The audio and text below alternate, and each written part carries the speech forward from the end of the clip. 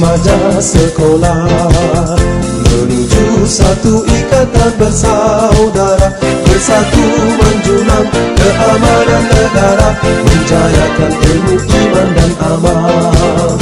Marilah kita membina peribadi Membentuk insan yang kreatif Ke arah kecemerlangan diri Sepanjang masa yang berterusan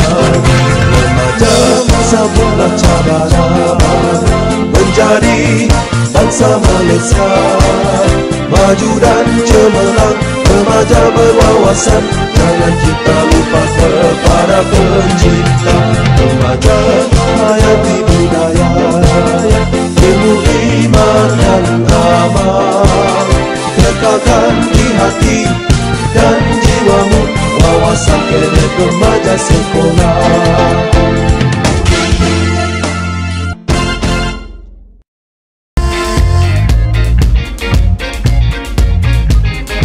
Selamat sejahtera dan selamat pagi saya ucapkan kepada yang berusaha Pengetua SMK Zon Al1 Cik Suzana Kumariah binti Zainal Abidin Barisan Pentadbir, guru-guru kanan, kaunselor sekolah, guru-guru dan murid-murid yang saya kasihi.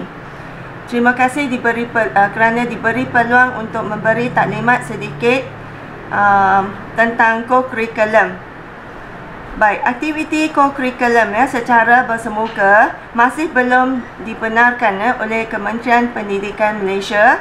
Oleh itu, semua aktiviti co-curriculum perlu dilaksanakan ya secara maya iaitu atas talian di mana murid perlu ikuti melalui Google Classroom atau Google Meet.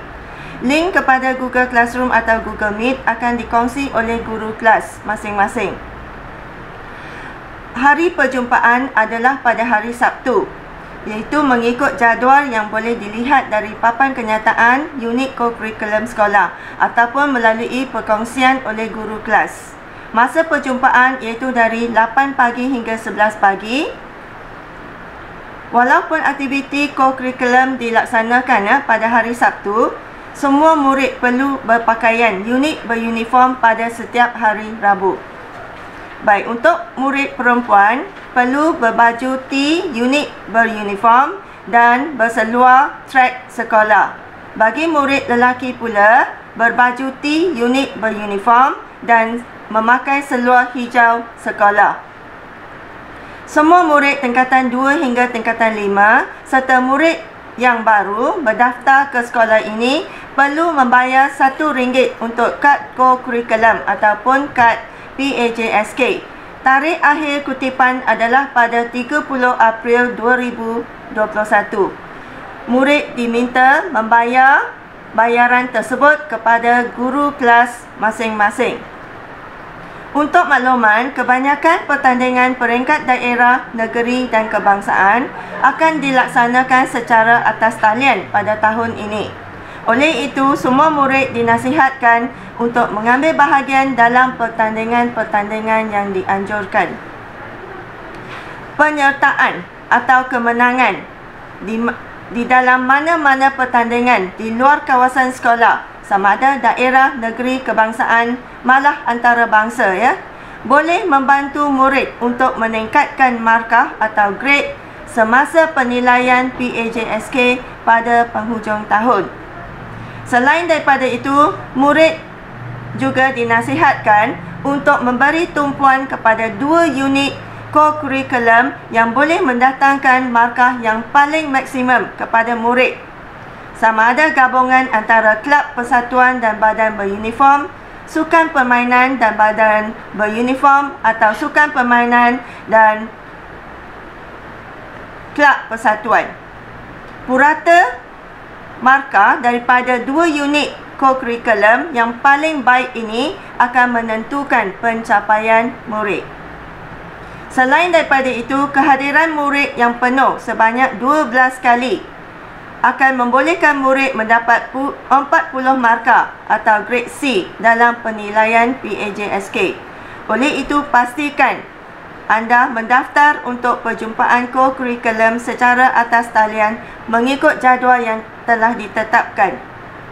KPI atau sasaran sekolah untuk tahun 2021 untuk co-curriculum adalah yang pertama, meningkatkan bilangan murid yang mendapat grade A di dalam penilaian PAJSK dan yang kedua, memastikan tiada murid yang mendapat grade D atau E di dalam penilaian PAJSK.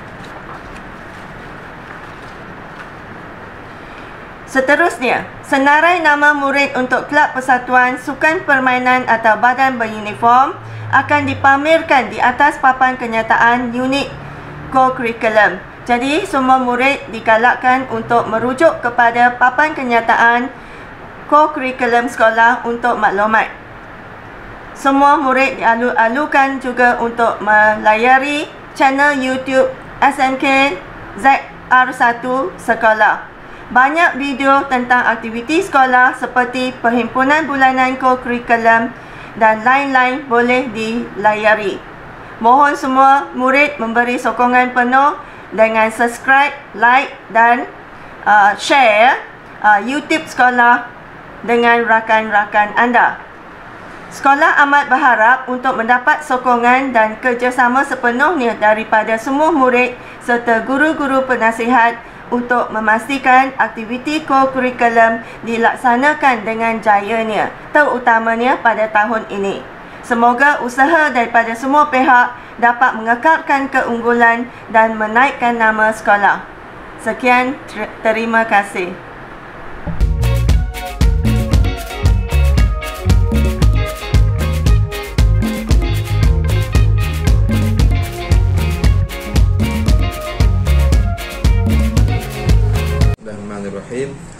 Assalamualaikum dan salam sejahtera.